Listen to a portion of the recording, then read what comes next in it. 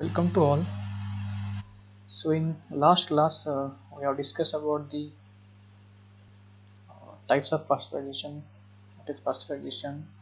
We have discussed about the um, batch uh, pasteurization. We discussed about continuous pasteurization that is LTLT low, low temperature long time pasteurization high temperature short time pasteurization that is STST so in today's class we will discuss about the uh, STST type pasteurizer in details. So this in dairy industry generally uh, in every processing plant modern processing plant uh, we process the milk via continuous pasteurization. So in that pasteurization continuous pasteurization we use plate type of heat exchanger that is PHE okay. These PHEs are uh, made up of the different plates uh, which provide the space for heating and cooling to uh, that plates uh, that pasteurization consists of on different plates okay uh, which again having different sections like heating section cooling section regeneration section and holding section also.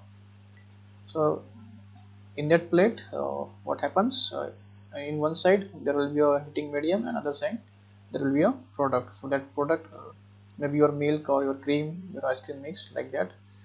And uh, your heating medium would be uh, your water okay hot water. So at the one side of plate uh, product will flow and other side of uh, plate heating medium will flow.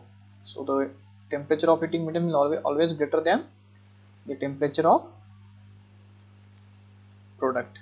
Means there is a temp uh, suppose your set point you want to heat the milk around uh, 72 degree centigrade okay? In that case uh, the heating medium temperature should be around 75 degree centigrade. It means uh, you should have around delta t uh, temperature difference around 3 degree centigrade okay? That is optimum so in today's class we will discuss about the what are the different components of the uh, pasteurization and what is the product flow in the pasteurization. So here you can see uh, a flow diagram of the pasteurization and different equipments in the pasteurization. So uh, let's uh, discuss about the what are the different components of the pasteurization. Okay.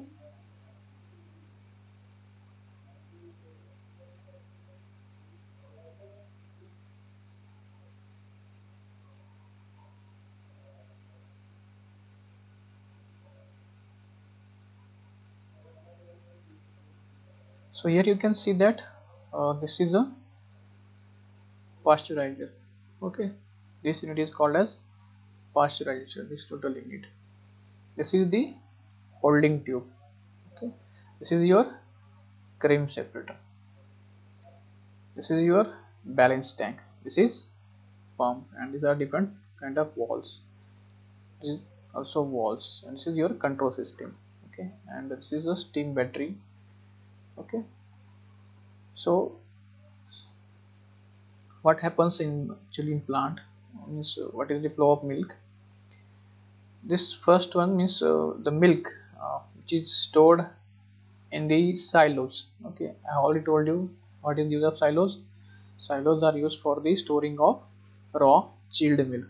Whenever milk comes from the any society or through a tanker okay reception at reception dock it uh, first it get clarified okay and after clarification that milk gets chilled and stored in the uh, silos. Okay below 4 degree centigrade so that milk will not spoil till further use.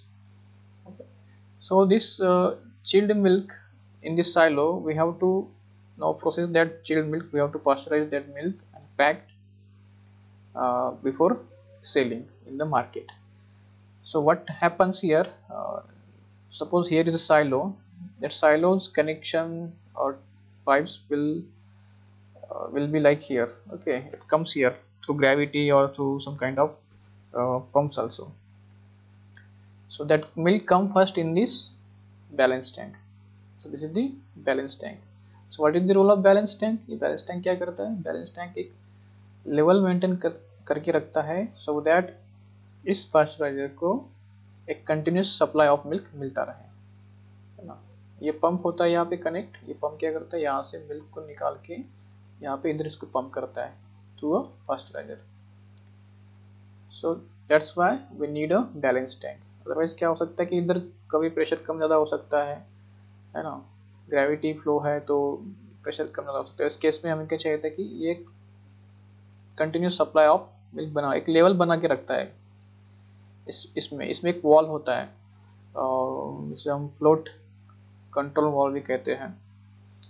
तो इसको हम एफसीबीटी भी कहते हैं float control balance tank या फिर normally आप इसको बैलेंस टैंक भी कह सकते हैं। तो इसमें जब लेवल लिक्विड मतलब मिल्क लेवल एक सर्टेन पॉइंट का कम होती है तो ये क्या करता है वॉल ओपन करता है फिर से इसके अंदर मिल्क आना स्टार्ट हो जाता है। Okay and when the level goals after certain set point shed the uh, inflow of milk.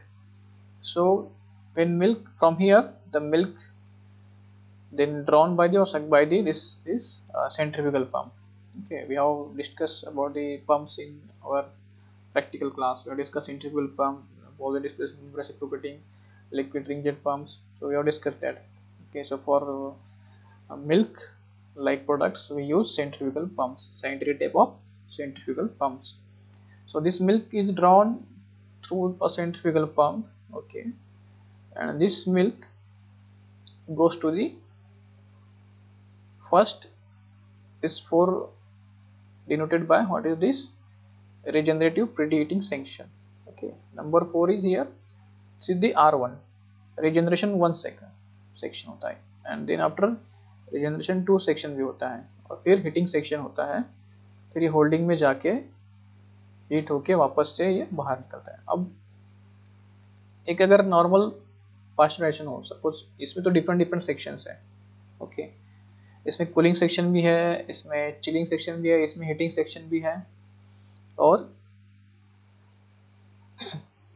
इसमें डिफरेंट कंपोनेंट्स लगे हैं। कुछ कुछ पास्चराइजेशन में क्या होता है कि सिर्फ़ एक ही सेक्शन होता है हीटिंग सेक्शन या दो सेक्शन हो सकते हैं हीटिंग एंड कूलिंग सेक्शन तो हम देखेंगे आगे कि रीजनरेशन क्या होता है और रीजनरेशन क्यों ज़रूरी है और उसके बेनिफिट्स क्या हैं।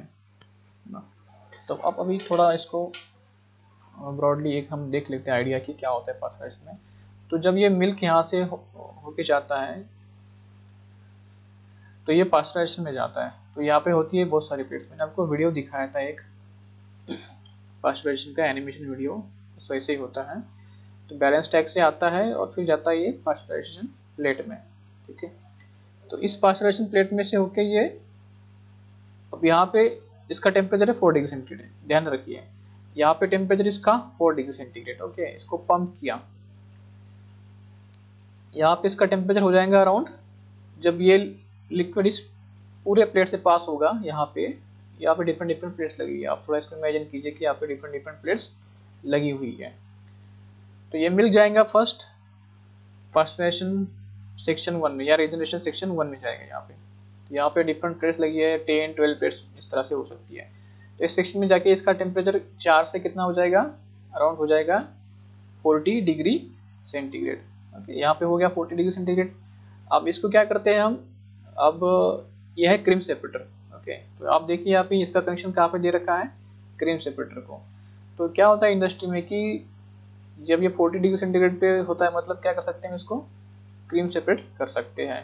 क्योंकि ये कोल्ड सेपरेटर नहीं है एक क्या है, एक वार्म सेप्टर है। वार्म क्रीम सेपरेटर तो जब मिल्क को अगर हम थोड़ा सा अच्छे से गर्म करते हैं और उसको फिर क्रीम निकालते हैं तो क्रीम अच्छे से निकल जाती है। इसलिए हम क्या करते हैं कि रिजनरेशन फ़र्स्ट के बाद इसका टेम्परेचर अराउंड मिल्क का जो टेम्परेचर होता है, वो अराउंड फोर्टी डिग्री सेंटीग्रेड आ जाता है। तो उस केस में हम इसको क्या करते हैं, उसको रूट करते हैं क्रीम सेपरेटर से। तो क्रीम सेपरेटर में क्या होता है कि मिल्क में फैट होता है और एस होता है, ये आपको पता है। तो जो फैट चीज़ जिसे हम क्रीम कहते हैं तो हम पहले क्या करते हैं मिल्क में से फैट निकाल देते हैं या क्रीम सेपरेट कर देते हैं। और जो आपका एस होगा ओके उसको क्या करते हैं हम? उसको अलग करते हैं। क्रीम अलग हो जाएँगी यहाँ पे और सैनप अलग हो जाएगा। या स्किम मिल्क कहेंगे हम। स्किम मिल्क और क्रीम अलग अलग हो जाएगी। तो क्रीम को हम कहीं और स्टोरेज कर लेते हैं, घी बनाने के लिए या बटर बनाने के लिए, और मिल्क को इधर पास कर देते हैं। ठीक है, अब ये जो मिल्क है, ये कहाँ पे जाएगा फिर?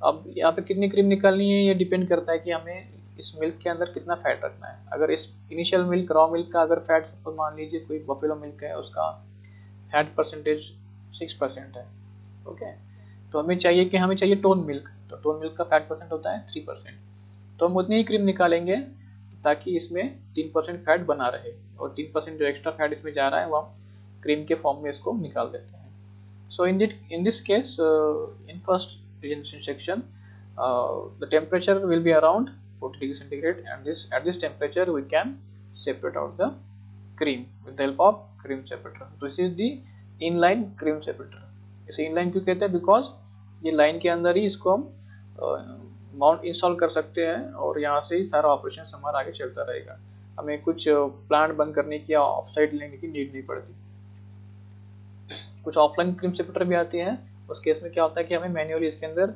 मिल्क को डालना होता है और फिर क्रीम निकलती है। इसमें कुछ ऐसा करने की नीड नहीं होती है।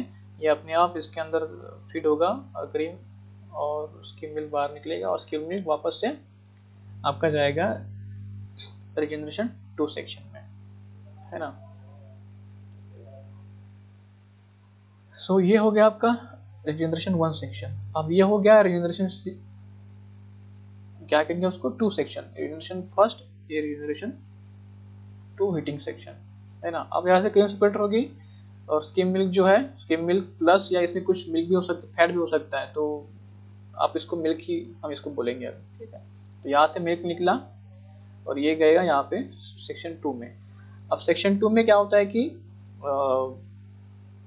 इसमें हम एक चीज़ करते हैं कि यहाँ पे इसका टेम्परेचर आता है around sixty degree centigrade regeneration two में अराउंड टेम्परेचर होता है sixty degree centigrade same principle रहेगा प्लेट्स लगी हुई रहेगी, और प्लेट से मिल्क पास होगा। एक साइड से हीटिंग मीडियम पास होता है प्लेट की साइड से प्रोडक्ट होगा। So in this case what will happen कि यहाँ पे मिल्क जाएगा। अब यहाँ से मिल्क अब यहाँ पे तो हमने किन से मीटर लगाया? और एक चीज़ होती है, जिसे हम कहते हैं होमोजिनाइजर एक होमोजेनाइजर होता है। मैंने आपको दिखाया था होमोजेनाइजर किस तरह से दिखता है। तो अगर आपको मैं दिखाऊँ होमोजेनाइजर किस तरह दिखता है। ये कुछ देख लीजिए आप आइडिया कि इस तरह से प्रोसेसिंग प्लांट होते हैं डेयरी में। तो ये पास्चराइजर हो गया आपका, फिर ये बैलेंस टैंक हो गया, ये क्रीम सेपरेटर लगा हुआ है है ना? ये साइलोज है या टैंक्स है छोटे छोटे और कनेक्शन आप यहाँ पे देख सकते हो। अगर आप इस तरह का कोई कीवर्ड डालोगे तो आपको दिख जाएगा कि किस तरह से होता है। अब एक चीज़ होती है होमोजेनाइजर करके। तो ये होता है एक होमोजेनाइजर। ठीक है? तो ये होमोजिनाइजर तो इसे कहते हैं हम होमोजिनाइजर तो इस तरह से एक टाइप का ये क्या होता है? पंपी होता है। अब होमोजिनाइजेशन क्यूज करते हैं हम कि होमोजिनाइजर क्या करता है कि अगर हम जो मिल्क में जो फैट होता है फैट ग्लोब्यूल्स होते हैं तो उसकी साइज़ ये कम करता है below two degree centigrade so here you can see that this is a kind of homogenizer, okay? So the role of homogenizer is to break down the और reduce the fat globule size below 2 micron. तो क्या होता है कि जब हम milk को as it is रखते हैं आ, किसी इसमें तो क्या होता है कि उसके ऊपर क्रीम लेयर फॉर्म होती है ठीक है? तो क्रीम लेयर को अवॉइड करने के लिए to delay the formation of cream हम यूज़ करते हैं होमोजेनाइजेशन तो इससे क्या होता है कि क्रीम जल्दी फॉर्म नहीं होती है और मिल्क दिखने में थोड़ा अच्छा दिखता है। तो ज़रूरी नहीं होता कि आपको होमोजेनाइज करना है, बट कुछ कुछ जगह पे होमोजेनाइज करते हैं मिल्क को, कुछ कुछ जगह पे नहीं करते हैं। तो ये ऑप्शनल होता है होमोजेनाइजर तो तो ये दिखा मैंने आपको होमोजेनाइजर तो इस तरह से कोई भी आप देखो उठा के एक प्लांट कैसे दिखता है तो इस तरह से कुछ होते हैं हमारे पास प्लांट ओके तो ऐसे होते हैं, ये बैलेंस टैंक होता है इस तरह से। ये हो गया आपका पास्चराइजर ये अलग एक दूसरा, ये एक पास्चराइजर का यूनिट है, ये दूसरा पास्चराइजर का यूनिट है। है ना? आप यहाँ पे देख सकते हो किस तरह के कनेक्शन यहाँ पे लगे हुए हैं। और एक सिंपल पास्चराइजर होते हैं जिसको हमने दिखाया था आपको। This is a skid mounted pasteuriser mini pasteuriser जिसे हम कहते हैं। छोटा सा पास्चराइजर होता है। लो कैपेसिटी का। थाउज़ेंड लीटर पर आवर या five hundred litre per hour इस तरह से। तो ये हो गया स्किड माउंटेड मतलब इसको हम एक जगह दूसरी जगह स्किड कर सकते हैं इजीली है ना? तो इस तरह से होते पास्चराइजेशन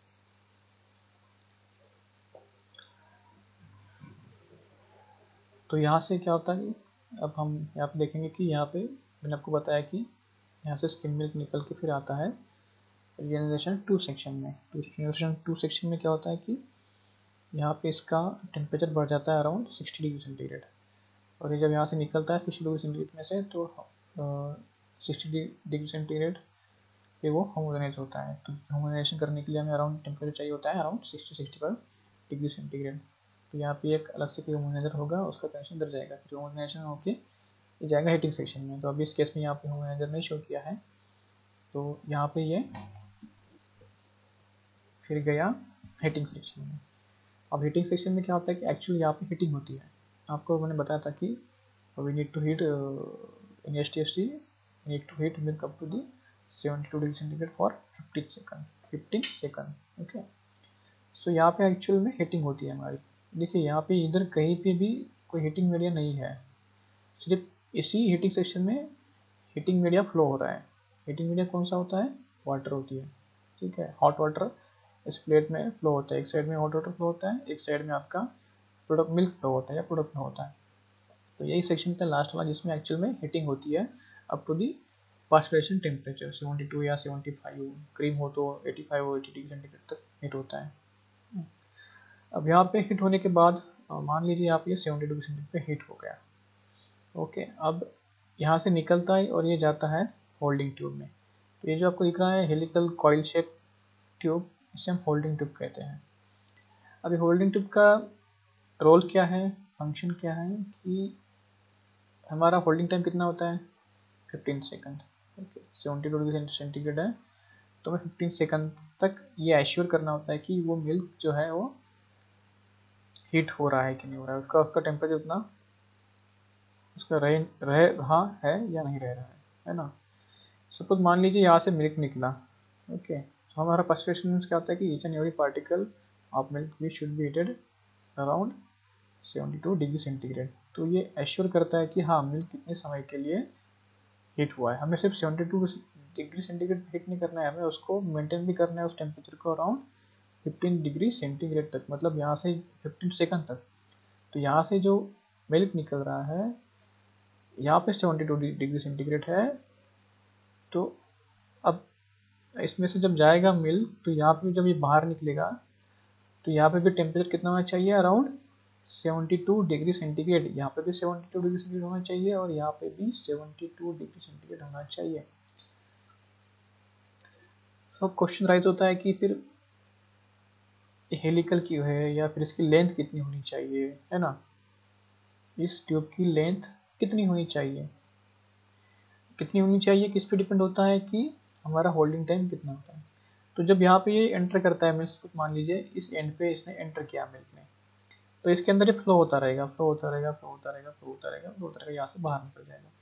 तो इसमें कितना सेकंड तक जो पार्टिकल यहाँ पे फ़र्स्ट टाइम मतलब मिल्क का पार्टिकल इसने एंटर किया तो यहाँ से जब ये निकलेगा बाहर तो ये टोटल कितना होगा टेम्परेचर ये होगा 15 सेकंड ओके ये टेम्परेचर होगा 15 सेकंड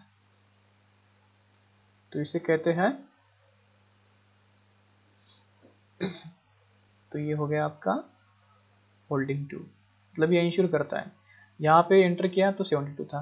तो इसमें घूम रहा है, घूम रहा है, घूम रहा है और यहाँ से बाहर निकल गया। ओके तो यहाँ पे भी टेम्परेचर आपका 72 है। यहाँ पे भी सेवेंटी इसका मतलब क्या है? ये प्रॉपरली हीट हो चुका था। ये जो मिल्क है, ये 15 डिग्री सेंटीग्रेड के लिए सॉरी 72 डिग्री सेंटीग्रेड के लिए 15 सेकंड तक होल्ड हुआ है। इसलिए मेजर करने के लिए, यहाँ पे कोई थर्मामीटर होगा फिर यहाँ आगे चल के क्या होता है कि एक एफडी होता है, जिसे हम कहते हैं फ्लो डाइवर्जन वॉल यहाँ पे देख सकते हो आप फ्लो डाइवर्जन वॉल दो तरह के फ्लो डाइवर्जन होता है, एक होता है hot side flow diversion valve और एक होता है cold side flow diversion valve तो यहाँ पे रहेगा hot side flow diversion valve flow diversion flow ये बारह नंबर फ्लो डाइवर्जन वॉल तो ये क्या करता है फ्लो डाइवर्जन वॉल यहाँ से जो मिल्क निकल रहा है, उसका टेम्परेचर क्या करता है? वो सेंस करता है। इसका टेम्परेचर कितना है? यहाँ पे एंटर हुआ, यहाँ पे टेम्परेचर देखेगा या प्रेशर देखेगा। उसके बाद यहाँ पे भी वो टेम्परेचर सेंस करेगा। इसमें घूमने के बाद क्योंकि यहाँ पे कोई हीटिंग तो हो ही नहीं रही है। या ध्यान रखिए, यहाँ पे कोई हीटिंग नहीं हो रही है। यह सिर्फ़ एक कॉइल है। कॉइल ट्यूब मतलब क्या हेलिकल ट्यूब है, इस तरह से कॉइल यहाँ पे कोई हीटिंग नहीं हुई है, सिर्फ़ क्या कर रहा है? मिल्क को 15 सेकंड तक इसमें घुमा रहा है। मिल्क इसमें 15 सेकंड तक घूम रहा है। ताकि घूमने के बाद फिर यहाँ पे क्या करेंगे हम? इसका टेम्परेचर चेक करेंगे। ओके तो यहाँ पे एक लगा रहेगा फ्लो डाइवर्जन वॉल तो ये क्या इंश्योर करता है? अगर यहाँ पे जो मिल्क निकल रहा है, उसका टेम्परेचर अगर सेवेंटी टू डिग्री सेंटीग्रेड है तो ये क्या करेगा? मिल्क को फर्दर प्रोसेसिंग के लिए मतलब चिलिंग के लिए पास्चराइजर में फिर से मतलब भेजेगा। क्योंकि पास्चराइजर में मतलब आपको बताता है कि हीटिंग प्लस कूलिंग भी होती है बिलो फोर डिग्री सेंटीग्रेड तो ये जो मिल्क है, अगर ये सेवेंटी डिग्री सेंटीग्रेड यहाँ पे टेम्परेचर उसका मैच या सेट सेट पॉइंट जो भी सेट पॉइंट है, उस सेट पॉइंट को अगर मैच करता है कंपेयर करता है, अगर यहाँ पे मिल्क जो यहाँ से निकला है होल्डिंग ट्यूब से, इसका टेम्परेचर अगर सेवेंटी डिग्री सेंटीग्रेड होगा तो इसका करेगा, ये फिर से फास्ट प्रेशर में भेजेगा फॉर दी कूलिंग पर्पज है ना? यहाँ से जाएगा ये ये जाएगा पहले रिजनरेशन टू सेक्शन हीटिंग में नहीं जाएगा, देखिए, यह रिजनरेशन टू सेक्शन जाएगा पहले। उसके बाद जाएगा रिजनरेशन वन सेकंड में सेक्शन में।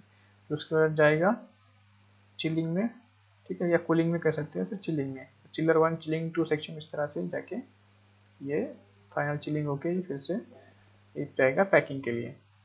अगर यहाँ पे 72 डिग्री सेंटीग्रेड इसका टेम्परेचर नहीं होता इस मिल्क का। इस मिल्क का टेम्परेचर अगर 72 डिग्री सेंटीग्रेड नहीं है तो ये फ्लो को डाइवर्ट करेगा कहाँ पे? सीधा का सीधा बैलेंस टैंक में। फिर से पास्चराइज करने के लिए। यहाँ पे टेम्परेचर अगर 72 नहीं है, जब ये एफडीवी सेंस करेंगे फ्लो डाइवर्जन वाल्व का अगर 72 फ्लो डाइवर्जन मतलब flow diversion valve means which is diverting the flow okay. तो अगर सेट पॉइंट मैच नहीं हो रहा है तो ये क्या करेगा? मिल्क को सीधा भेजेगा बैलेंस टैंक में। अनपास्चराइज मिल्क या फिर इम्प्रॉपर पास्चराइज मिल्क को, ताकि वो मिल्क फिर से फिर इस प्रोसेस से गुजर के पास्चराइज हो जाए। This is the function of flow diversion valve to divert the flow of unpasteurized milk to the balance tank for further processing of milk. Okay. अब यहाँ पे मान लीजिए कि मिल्क जो है अच्छे से पास्चराइज हो गया है। 72 टू सेंटीग्रेड यहाँ पे टेम्परेचर उसने मेजर किया डिटेक्ट किया ओके तो ये पंप के थ्रू क्या करेगा? अब इधर एक बूस्टर पंप होता है है ना? आप इसको, ये जो एट नंबर का इसे हम कहते हैं बूस्टर पंप बूस्टर मतलब बूस्ट किसी चीज़ को बढ़ाना होता है, ठीक है? आपने बूस्टर सुना होगा। बूस्ट मतलब किसी को बूस्ट अप करना या किसी को बढ़ाना, किसी चीज़ को। तो ये क्या कहता है? बूस्टर पंप ये लो प्रेशर को हाई प्रेशर में काउंट करता है। इस मतलब मिल्क जो यहाँ पे लो सपोज़ इसका प्रेशर अगर 10 पी होगा तो इसका प्रेशर ये बढ़ा के क्या करेगा? 15 पी करेगा। ओके जो तो इससे क्या होता है? इससे ये होता है कि अगर इन केस यहाँ पे कहीं लीक हो इस पास्चराइजर में ठीक है? तो ये हो गई डाउन साइड और ये हो गई अप साइड हाँ, ये डाउन स्ट्रीम होती है और इसको कहते हैं हम अप कहते हैं। ये डाउन स्ट्रीम और ये अप स्ट्रीम तो अगर इस स्ट्रीम में मतलब इस पास्चराइजर में अगर कहीं पे लीक हो, क्योंकि क्या होता है कि मिल्क फिर से जा रहा है आर टू आर वन और चिलिंग में। तो अगर कहीं लीक हो तो क्या होता है कि ये जो पास्चराइज मिल्क है, अब इधर तो पास्चराइज मिल्क होके आया है है ना? तो ये जो पास्चराइज मिल्क है, अगर कहीं पे लीक हो तो अनपास्चराइज मिल्क जो है इधर का, इधर से जो मिल्क फ्लो हो रहा है, ये इसके अंदर मिक्स नहीं होगा, और इसको कंटेमेट नहीं करेगा फिर से। लीक होगा तो क्या होगा? हाई प्रेशर जो साइड वाला जो मिल्क है वो कहाँ पे जाएगा? लो प्रेशर साइड वाले सेक्शन में जाएगा ये। तो इसलिए अगर ऐसा नहीं होगा तो क्या होगा उस केस में?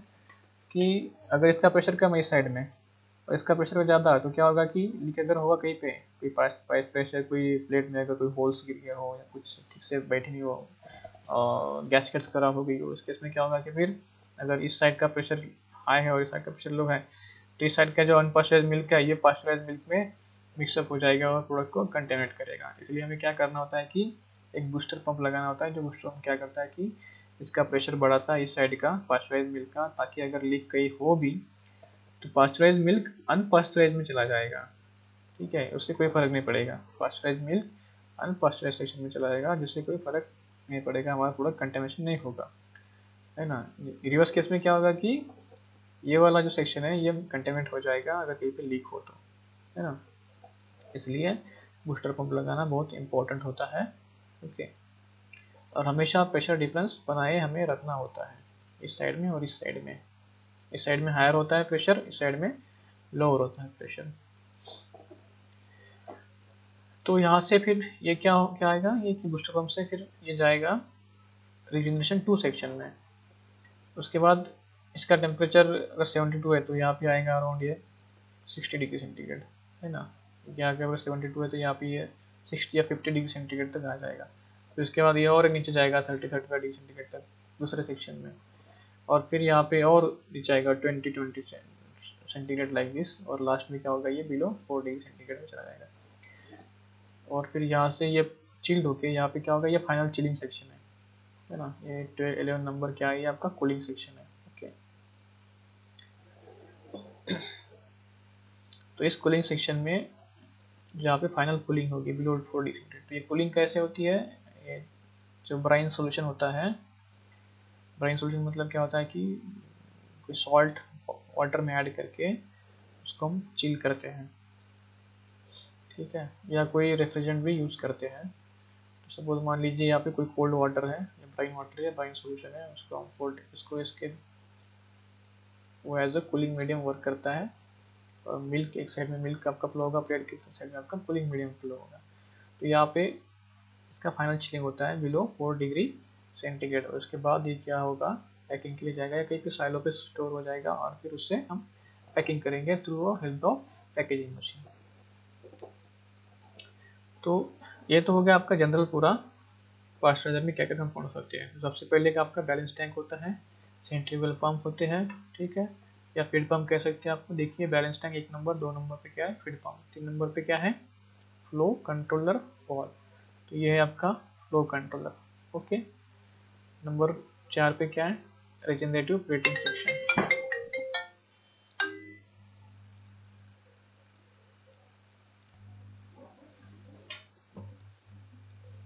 this is the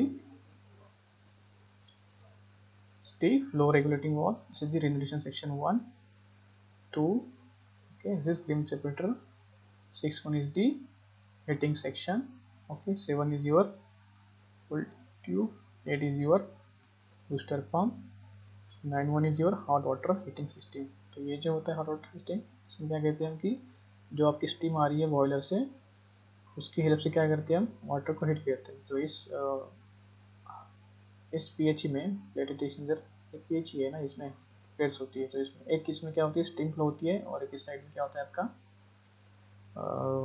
water heat होता है। तो जो स्टीम है, यहाँ पे ये इसको हीट करती है, इसको वाटर को एक सर्टेन डिग्री टेम्परेचर पे, है ना? और फिर ये वाटर कहाँ पे फ्लो होता है? ये होता है हीटिंग सेक्शन में तो ये प्लेट्स में होता है। ये फिर ऐसे चलते रहता है कि इसका टेम्परेचर कम हुआ तो फिर वापस से heat heat heat heat cool इस तरह से साइकिल चलती रहती है। यहाँ पे डिफरेंट वॉल्स होते हैं स्टीम बैटरी होती है। तो ये इस तरह से कंटिन्यूस हीटिंग इधर भी चलती है और इसके थ्रू हमारा वाटर भी आप हीट होता है। तो हीट एक्सचेंज वहाँ पे चलते रहता है ओके तो ये हो गया आपकी hot water heating system okay फिर बूस्टर पंप फिर आ गया आपका regenerative cooling section one regenerative cooling section two okay और फिर उसके बाद आपका क्या हो गया?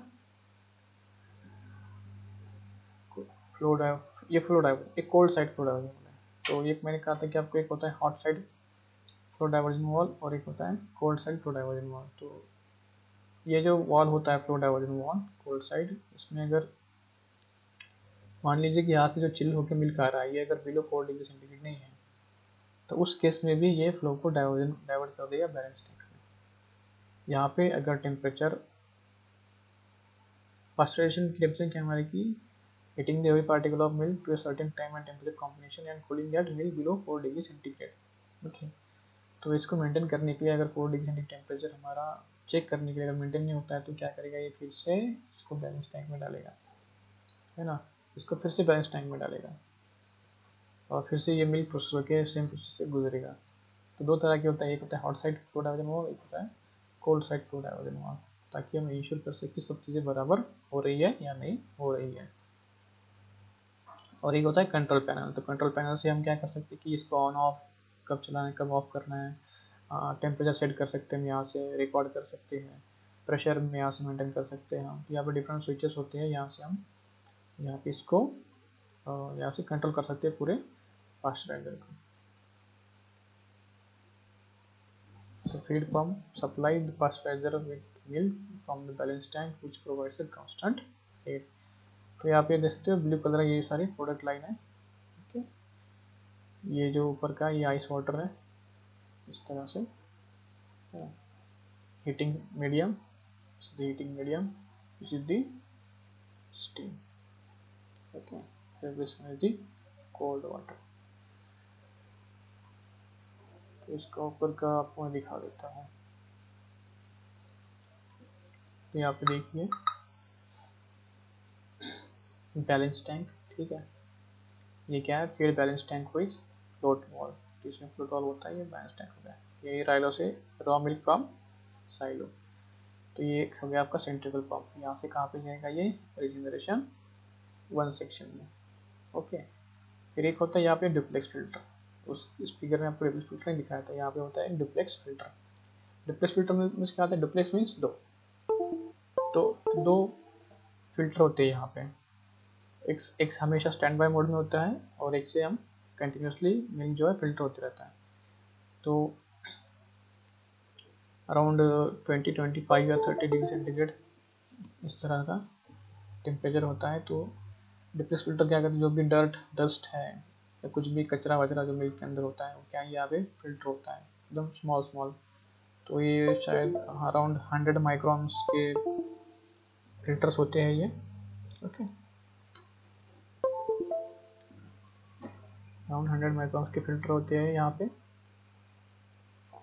तो इस के ऊपर वाली जो चीज़ें सारी सारी यहाँ पे फ़िल्टर होती है, ताकि आगे चल के कोई चीज़ को क्लॉग ना करें किसी सिस्टम को। फ़िल्टर तो ये होता है डिप्लेस फ़िल्टर का, हमेशा याद में रखिए कि यहाँ पे एक डिप्लेस फ़िल्टर लगा होता है। तो एक अगर जब खराब हो जाता है तो क्या करते हैं फ्लो डाइवर्ट करते हैं दूसरे फ़िल्टर में और उसको निकाल के क्लीन कर देते हैं। ठीक है? तो अगर मैं आपको दिखाऊँ diplex filter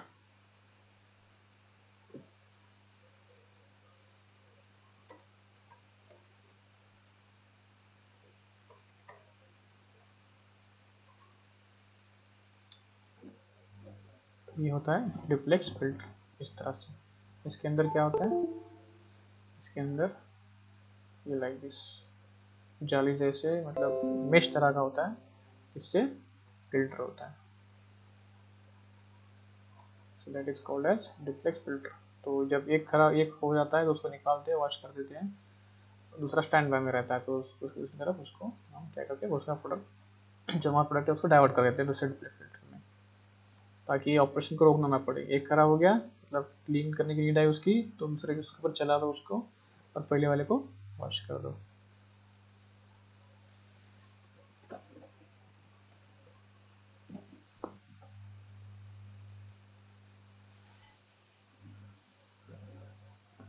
okay so different filters फिर गया आपका जनरेशन टू सेक्शन में यहाँ पे अराउंड कहा था कि फोर्टी डिग्री सेंटीग्रेड के आसपास ही हीट हीट होता है। और फिर जाता है क्रीम फ़िल्टर में। फिर जाता है रिजनरेशन थ्री सेक्शन में। ओके रिजनरेशन थ्री से ये बाहर जाता है होमोनाइजर में। यहाँ पे टेम्परेचर होगा सिक्सटी डिग्री तो ये मान लीजिए कि आपको ये R one R two R three confuse हुई है।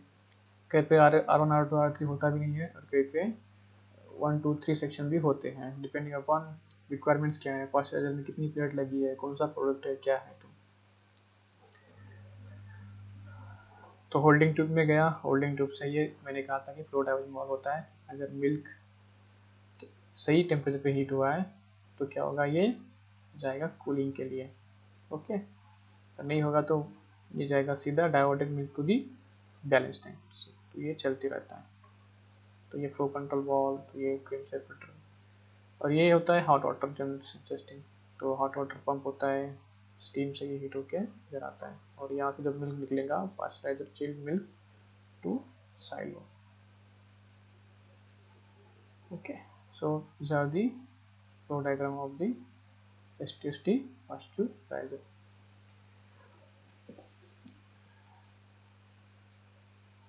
okay okay, तो अभी R1 R2 जो मैंने कहा था आपको ये क्या होता है रिजेनरेशन रिजेनरेशन मतलब क्या होता है कि हम एक यूज़ करते हैं कि रिजेनरेशन में हमारी रिजेनरेशन से हमारी एनर्जी एफिशिएंसी बढ़ती है।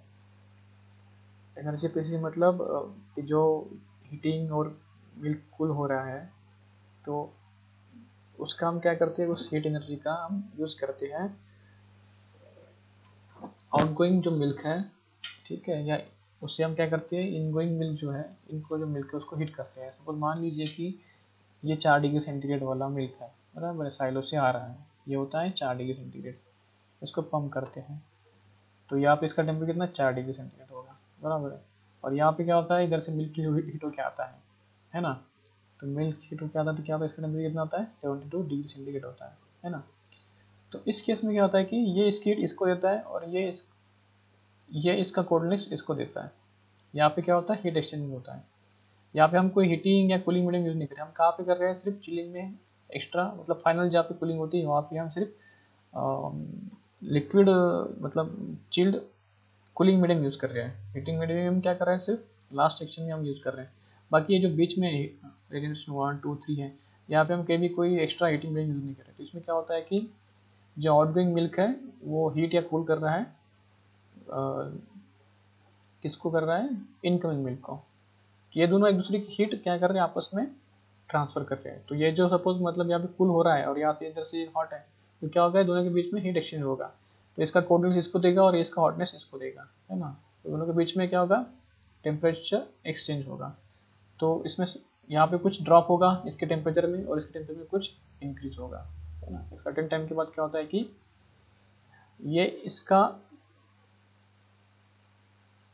ये इसको चिल करेगा, यहाँ पे जो मिल्क जा रहा है और ये क्या कर रहा है, अपना हीट इसको देगा और इसको हीट करेगा। तो यहाँ पे कुछ टेम्परेचराइज होगा। और यहाँ पे इस साइड में कुछ टेम्परेचर डिक्रीज होगा।